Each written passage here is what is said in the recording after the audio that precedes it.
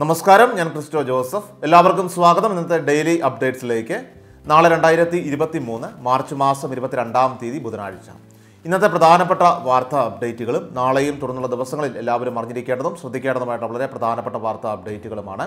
ഇന്നത്തെ ഡെയിലി അപ്ഡേറ്റ്സിൽ ഉൾപ്പെടുത്തിയിരിക്കുന്നത് എല്ലാവരും പൂർണമായിട്ട് ശ്രദ്ധിക്കുക. മറ്റുള്ളവരിലേക്ക് കൂടി തീർച്ചയായിട്ടും ഈ വാർത്തയൊന്ന് ഷെയർ ചെയ്യുവാനും പ്രത്യേകം ശ്രദ്ധിക്കുക. ആദ്യത്തെ പ്രധാനപ്പെട്ട വാർത്താ അപ്ഡേറ്റ്. സംസ്ഥാനത്ത് വേനൽ മഴ തുടരും. ഇടിമിന്നലോട് കൂടിയ ഒറ്റപ്പെട്ട മഴയ്ക്ക് സാധ്യതയെന്നാണ് ഇപ്പോൾ കേന്ദ്ര കാലാവസ്ഥ വകുപ്പ് മുന്നറിയിപ്പ് നൽകിയിരിക്കുന്നത്. മധ്യതെക്കൻ കേരളത്തിൽ മലയോര മേഖലകളിലാണ് പ്രധാനമായിട്ടും മഴ മുന്നറിയിപ്പ് നൽകിയിരിക്കുന്നത്. ഇടിമിന്നൽ അപകടകാരിയായതുകൊണ്ട് തന്നെ ജാഗ്രത പാലിക്കണമെന്നും കേന്ദ്ര കാലാവസ്ഥ വകുപ്പ് അറിയിച്ചിട്ടുണ്ട്. അടുത്ത പ്രധാനപ്പെട്ട വാർത്താ അപ്ഡേറ്റ് സംസ്ഥാനത്ത് വീണ്ടും വിഷമത്സ്യം വിൽപ്പനയ്ക്ക്. ആലപ്പുഴ ജില്ലയിലാണ് പരിശോധനയിൽ ഇപ്പോൾ പിടികൂടി നശിപ്പിച്ചിരിക്കുന്നത്. ഭക്ഷ്യസുരക്ഷാ വിഭാഗവും നഗരസഭയും ചേർന്ന് നടത്തിയ മിന്നൽ പരിശോധനയിൽ നഗരത്തിലെ വഴിയോര തട്ടുകളിൽ നിന്ന് ഫോർമാലിൻ ചേർത്ത നാൽപ്പത് കിലോഗ്രാം മത്സ്യം പിടികൂടിയിരിക്കുകയാണ്.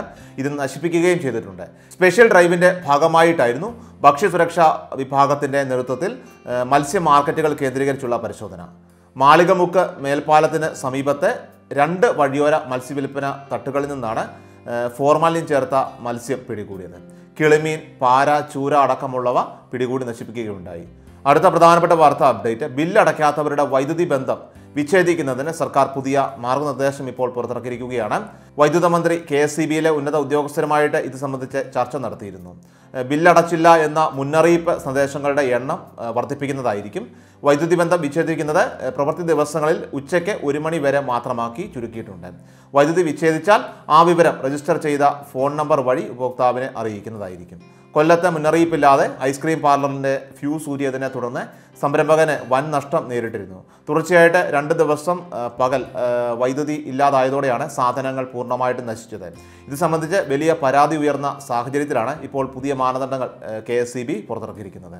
അടുത്ത പ്രധാനപ്പെട്ട വാർത്താ അപ്ഡേറ്റ്. നോൺ ജുഡീഷ്യൽ ആവശ്യങ്ങൾക്കുള്ള എല്ലാ ഡിനോമിനേഷനുകളുമുള്ള മുദ്രപത്രങ്ങൾക്കായിട്ട് ഏപ്രിൽ ഒന്ന് മുതൽ ഈ സ്റ്റാമ്പിംഗ് പ്രാബല്യത്തിൽ വരും.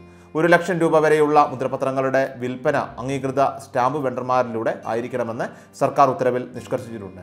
ഇതിന് പ്രകാരമുള്ള മാർഗനിർദ്ദേശങ്ങൾ സർക്കാർ പുറത്തിറക്കിയിരിക്കുകയാണ്. രജിസ്ട്രേഷൻ വകുപ്പിന്റെ പേൾ ആപ്ലിക്കേഷനിൽ ആവശ്യമായിട്ടുള്ള മാറ്റങ്ങൾ വരുത്തിയതായിട്ടും രജിസ്ട്രേഷൻ വകുപ്പ് ഇപ്പോൾ അറിയിച്ചിട്ടുണ്ട്. സംസ്ഥാനത്തെ ട്രഷറികളിലും അതുപോലെ സ്റ്റാമ്പ് വെണ്ടർമാരുടെ കൈവശം സ്റ്റോക്കുള്ള മുദ്രപത്രങ്ങളുടെ വിൽപ്പന ഒരു ലക്ഷം രൂപ വരെയുള്ള മുദ്രപത്രങ്ങൾക്ക് ഈ സ്റ്റാമ്പിംഗ് നടപ്പിലാക്കുന്നതിനൊപ്പം തന്നെ രണ്ടായിരത്തി ഏപ്രിൽ ഒന്ന് മുതൽ ആറ് മാസ കാലയളവിലേക്ക് തുടരാവുന്നതാണ്. ഒരു ലക്ഷം രൂപ വരെയുള്ള മുദ്രപത്രങ്ങൾക്കുള്ള ഈ സ്റ്റാമ്പിംഗ് ഏപ്രിൽ ഒന്ന് മുതൽ ഓരോ ജില്ലയിലും ഒരു സബ് രജിസ്ട്രാർ ഓഫീസിൽ നടപ്പിലാക്കും. രണ്ടായിരത്തി ഇരുപത്തി മൂന്ന് മെയ് മാസം രണ്ടാം തീയതി മുതൽ പദ്ധതി സംസ്ഥാന വ്യാപകമാക്കി മാറ്റുന്നതായിരിക്കും.